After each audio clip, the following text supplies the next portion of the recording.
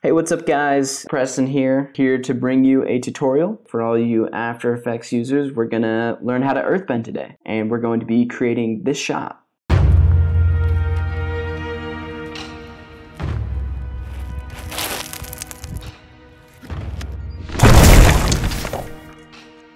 So before we get started with the tutorial, I'd like to give a big shout out to today's video's sponsor, Production Crate. Production Crate is an awesome website. There's lots of different parts about their site. They have all of their assets, everywhere from VFX assets to 3D models, as well as a blog and a forum where you can connect, learn new things, and download new presets that they're making, as well as scripts and plugins. And on top of all that, they have an awesome YouTube channel with plenty of great tutorials. So definitely go check them out, download some of the assets, and then we can use them in today's tutorial. Also, one quick thing to note guys before we get started, we are going to be using some paid plugins today, so if you don't have Video Copilot's Element 3D or any other sort of plugin that can bring 3D models into your After Effects composition, let me know down in the comments if you guys want me to work out a way to do this with no plugins at all, uh, just using 2D images, all right, so let's get things started. First things first, you got your footage in your composition. Look at that, nice little kick. So what we're gonna wanna do first is go to footagecrate.com and we are going to pick out our assets that we wanted to use. So I went to the debris section, dirt and debris right here, and I picked one of these ground explosions. Now, there's a lot of great options for pro users. Highly recommend getting that. There's plenty of good content, but there's also tons of good content for free users as well. Whichever one you prefer, we can go ahead and grab that, download it, drag it into our comp. So we wanna line it up right with the kick. So for this portion, uh, what we have to do first is try to color correct and adjust this image so it fits in with our scene because as you see right now, kind of sticks out like a sore thumb, mainly because where I'm filming, there's a lot of different colored rocks that don't match this concrete gravelly color. So what I'm gonna do for you is go over a brief overview, speed through all the effects that I tweaked with to make this look perfect for my footage, but it's gonna vary depending on where you're shooting your stuff, how you're shooting your footage, and what your surroundings look like. Here's the effects I used to blend my asset to the scene. I added a CC toner, change that to Pentone, and then get colors from all around the scene.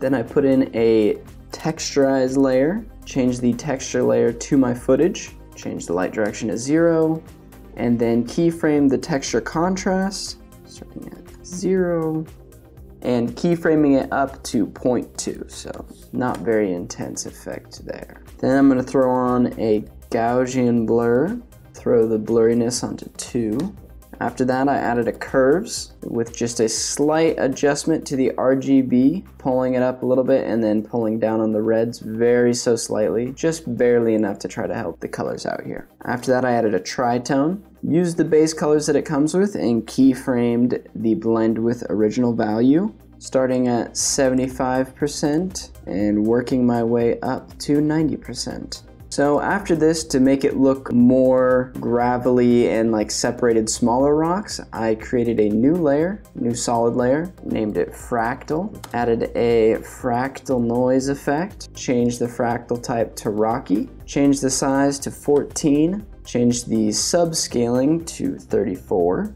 and then adjusted the offset turbulence as the rocks start down and then go up. So that layer we can drag to the bottom and even turn off because we don't need to see it, but we are going to use another texturize effect, change the layer to our fractal layer, select effects and masks, light direction at 245, and the texture contrast keyframe starting at 0.4, then just keyframing over two points, going down to 0.2. So that's helping the ground look a bit more broken up. So after that second texturize, all I did was throw a brightness and contrast just to help the lighting and colors yet again. Try to pull it all together and give it the same look as all the rocks around me and really blend it in. I think it turned out pretty well. But like I said, this is gonna be different depending on what footage you're working with, what type of rocks and landscape you're working with. Could be a lot simpler or could be a bit more complex, but these are my effects that I used, and if you want to try using the same ones just with different colors and values, then go right ahead. Now, we have a debris explosion. Looks great. And like I said earlier, you can just stop right here. Maybe you just want the ground to explode. You just want to make a little debris bomb. But we are earthbending in this comp, so we are going to take it a few steps further.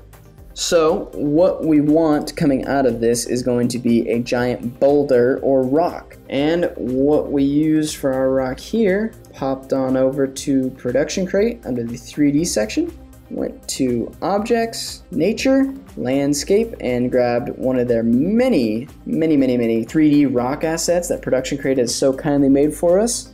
And we're gonna put them in. So we're gonna do here, we're gonna go to layer, new, solid. We're gonna name this Gonna drag that under the debris explode. Like I said, this effect does require element 3D. So go down to Video Copilot Element. So now that we have element on our solve, we'll go to Scene Setup, Import, and I'm going to use Granite Rock 7. Pull up that one, hit OK. Uh, once it loads in here, may take a second. It preloads the texture because they're great at 3D downloadable assets. And then I'm going to normalize the size, make it a bit bigger, hit OK, blammo. You got a rock in your scene. Look at that. But obviously we can't stop here. So I'm going to go into group one, ignore all this business over here, create group null, create. Now we have this null right here, which I'm going to rename rock null, drag it right next to the rock. Now we have full control over the rock with this null, and it even moves 3D space. Look at that. Let's go to the end. So now we got to animate this rock. So we're gonna go right where we want the rock to stop here. We'll say, so it's gonna come out of the ground here. So we'll just throw a keyframe on the position right here for now. Then go back to the beginning, right where it starts, and then I'm gonna just drag it straight down, right underneath there. So I'm gonna drag that keyframe up so it really just pops out. Turn on the motion blur right here for the 3D rock so it really, you can kind of see it. But doesn't that feel a little bit just doesn't doesn't quite feel right. Doesn't feel natural. So what I did to make the rock jutting out feel more natural and a bit more visceral is I used an effect on After Effects called Wiggler. And so what I did there is select my points on my position timeline and for the initial burst out of the ground, I had the frequency at 20 and the magnitude at 10. The noise type was smooth and only the X dimensions would be affected. Then I did it a second time for the aftershock of the burst. And for that, I did a frequency of 9 and a magnitude of 1. So it's just a little shake at the end so it just doesn't freeze in place as soon as it's out of the ground. And then I also changed it from smooth to jagged and made sure the dimensions were all independent. We gotta add a light. I'm going to layer, new, light, point light,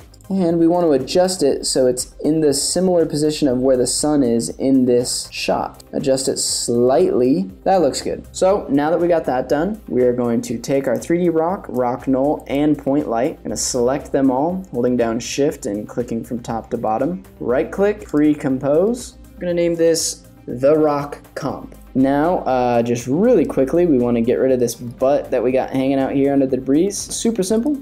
Just Draw a nice little mask under our debris.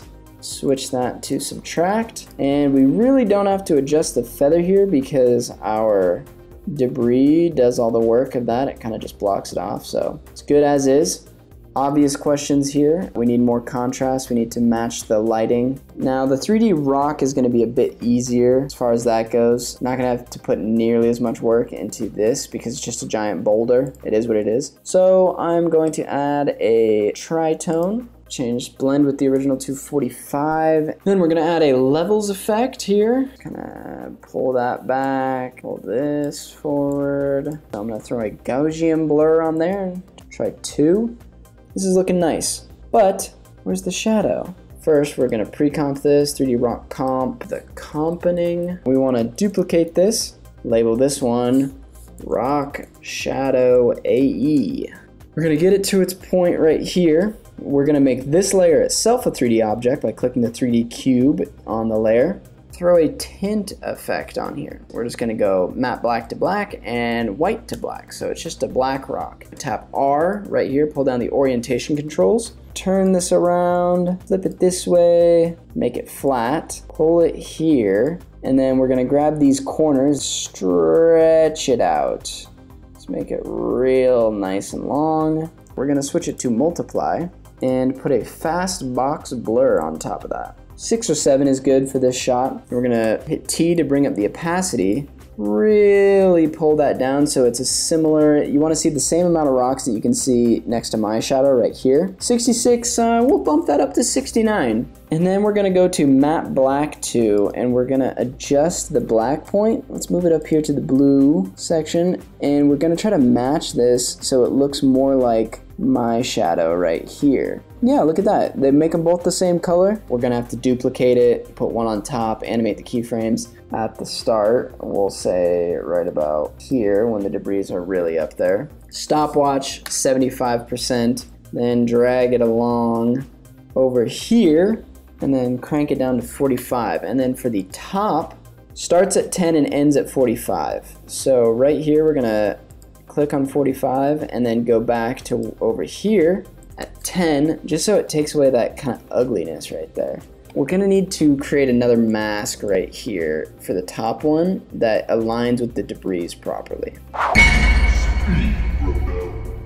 Subtract and call it feather of four pixels. Kind of blend it with those rocks right there. And now look at that. Got the rock coming up, the shadow grows with it.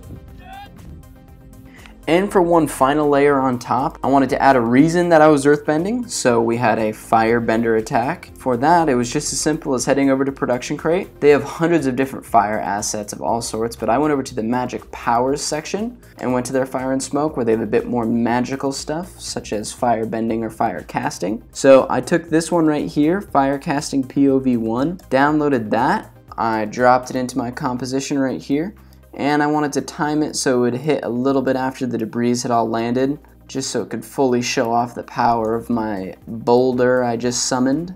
And I just scaled it down a tad, moved the position down, Already as is, just throwing that on top, it looks great. But like everything else in this comp, we gotta spice it up a bit. I'm going to go to Production Crate's free plugin right here, Crate's Heat Radiation. It's a cool plugin that helps make your fire assets more realistic and more believable. And after that, I'm just gonna throw it on a screen mode, turn down the max temp, and look at that. We got ourselves an Earthbender v Firebender. All right, and with that, we have the end of the tutorial. So uh, let me know what you guys think. Questions, comments, or concerns down in the comments. Let me know how I did and show me your guys' stuff. Uh, check me out on Twitter right here and tweet me your video if you followed this earthbending tutorial. I want to see what you guys can do. And another huge shout out to Production Crate. Go check out their website and check out their YouTube if you want more tutorials on using their assets and learning new effects and tricks in After Effects. Also, let me know down in the comments, guys, what do you want me to do next? I'm going to be doing a lot more tutorials on this channel now, and uh, what do you guys want to learn? Hope you enjoyed. See you next time.